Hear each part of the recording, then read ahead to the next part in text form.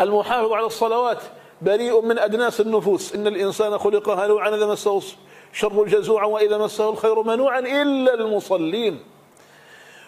وصفات الخير التي تؤهل الناس للفردوس بين حاصرتين الصلاة الصلاة الخشوع الصلاة والحفاظ على الصلاة. قد أفلح المؤمنون الذين هم في صلاتهم خاشعون والذين هم عن اللغو معرضون والذين هم للزكاة فاعلون والذين هم لفروجهم حافظون.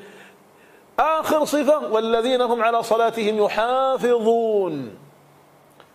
أولئك هم الوارثون الذين يرثون الفردوس هم فيها خالدون. فابتدأ بالصلاة وانتهى بالصلاة ليعلمنا أن الحفاظ على كل صفات التقوى ومؤهلات الجنة هي في الصلاة. سبحان الله. علماءنا بعض علمائنا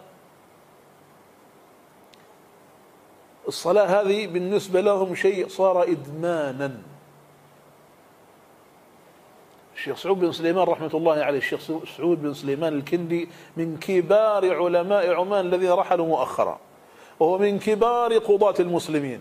وهو من كبار تلاميذ الإمام الرضا محمد بن عبد الله الخليل نور الله ضريحه. الشيخ سعود بن سليمان كان يصلي الفرض وبعد قليل كذا جالس بين أولاده يقول كيف وقت الصلاة؟ يقول لا والدي تو مصلين. تو قبل شوي مصلين.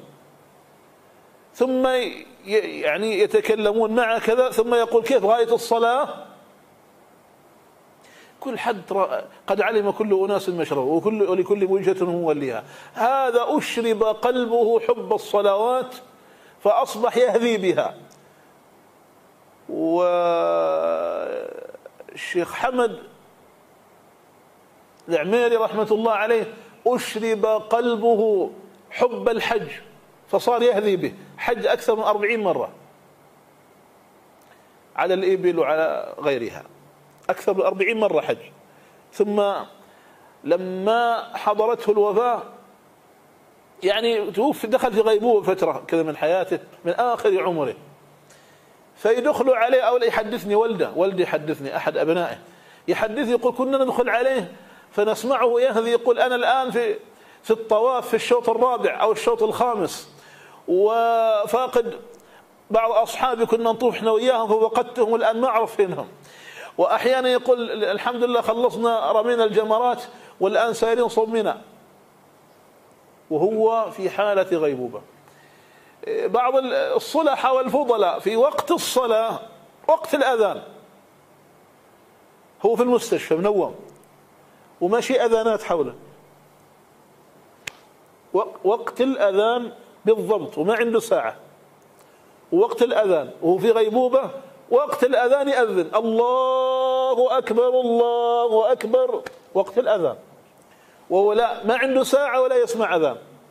لكن في أوقات لأنه كان مؤذن هو. لأنه كان مؤذنا كان عند دخول الوقت يأذن. دخل وقت الفجر أذن الظهر أذن. وبال وبالتوقيت صح.